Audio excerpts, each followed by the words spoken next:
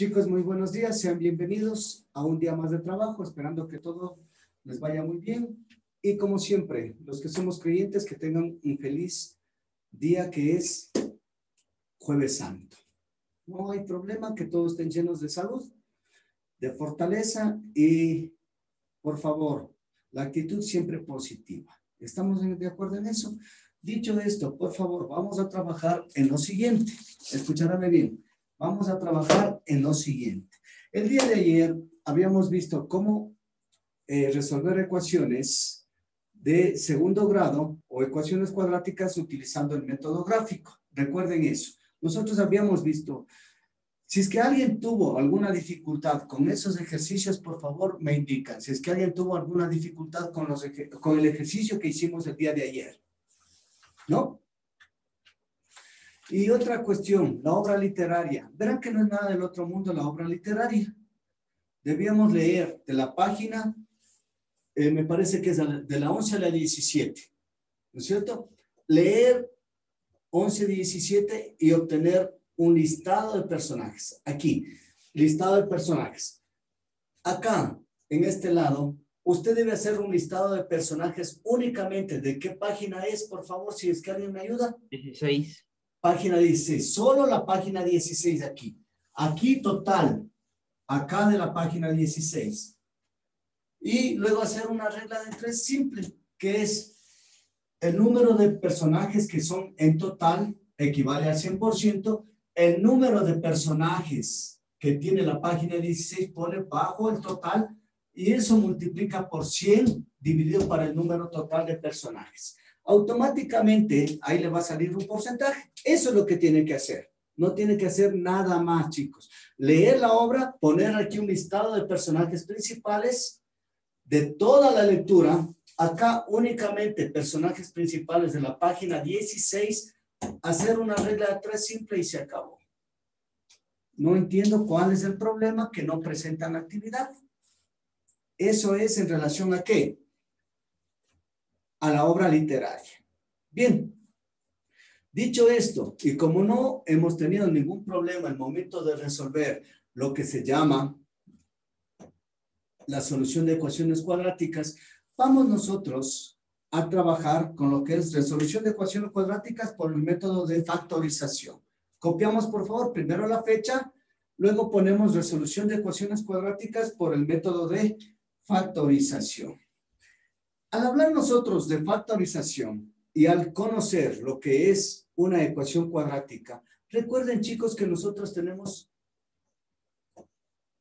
tres formas de resolver. Cuando usted conoce la ecuación cuadrática completa, que sería qué? En este caso, ax cuadrado más bx más c completa. Cuando nosotros simplemente conocemos los dos elementos. AX cuadrado más BX es igual a cero. En este caso, la C va a ser igual, va a ser igual a cuánto? A cero. No tengo C. O a su vez, cuando tengo solo esto, AX cuadrado es igual a cero. En este caso, B y C son igual a cero. Esos son los tres tipos de, de ecuaciones cuadráticas que yo voy a conocer. Si estamos de acuerdo, chicos? ¿Estamos claros hasta ahí?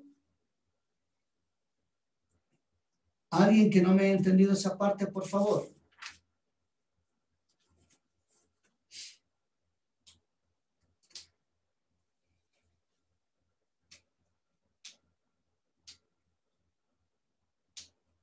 ¿Algún estudiante que no me haya entendido eso? ¿Sí estamos de acuerdo? Ya. Dicho esto, entonces usted ya conoce los tipos de solución que vamos a tener. Bien. Entonces, vamos a hacer nosotros un ejercicio, el cual nos dé a conocer por el método de factorización. Vamos a hacer uno facilito x cuadrado menos x menos x es igual a 20. Listo. En este caso, nosotros tenemos una ecuación cuadrática, pero debemos igualar a qué? A cero, ¿no es cierto? Si estamos de acuerdo. Entonces, mire, ¿cómo igualamos a cero? X cuadrado menos X menos 20 es igual a cero. Ya tengo la ecuación cuadrática. Aquí tengo todos los elementos, entonces es una ecuación cuadrática completa. Listo. Cuando ya tengo esta parte, voy a encontrar qué? ¿Qué voy a encontrar? El vértice. Para eso, A es igual a qué? A 1, B igual a menos 1 y C igual a menos 20. Estoy encontrando los coeficientes. Para encontrar el vértice x igual a menos b sobre 2a. No se olviden, esa es la fórmula para encontrar el vértice. Encontrar la x. El un componente del vértice. x sería igual. ¿Cuánto vale la b? Menos 1. Sobre 2. X es igual a un medio. Tengo aquí el vértice, el primer componente del vértice. Irán copiando, por favor. Siguiente. Debo encontrar el otro componente, que es la Y. Para eso, este valor voy a reemplazar en el sitio de la X. Sería un medio elevado al cuadrado menos un medio menos 20 esto es igual a Y. Voy a encontrar el componente Y. No se olviden. Entonces aquí, ¿cuánto me quedaría? Un cuarto menos un medio menos 20. Esto es igual a Y. Por favor, desarrollen eso a ver cuánto nos da. ¿Cuánto nos daría, chicos? Rapidito. menos 81 cuartos. ¿Sí? ¿Seguro? Menos, sí. Entonces Y sería igual a menos 81 cuartos. Uno. Este se anula, ¿no es cierto? Y me queda 481 cuartos. Listo. Esto sería ¿qué? Y. Ya tengo el vértice. Vértice sería igual a qué? Un medio menos 81 cuartos. Listo. Nos falta encontrar ahora qué?